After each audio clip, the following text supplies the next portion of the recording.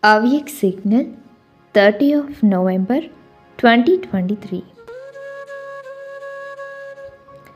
Because every action the obedient children perform is according to the directions they have been given. Those actions are elevated.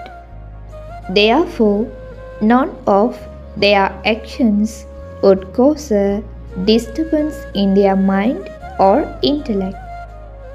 They would never have to think about whether something they do is right or not. Because they do everything correctly according to the directions they are given and don't do anything under any influence of their karmic bondage. They remain constantly light because they perform every action according to the directions they are given. They experience God's blessings and constantly feel willpower inside them and are totally filled with super sensuous joy. Om Shanti.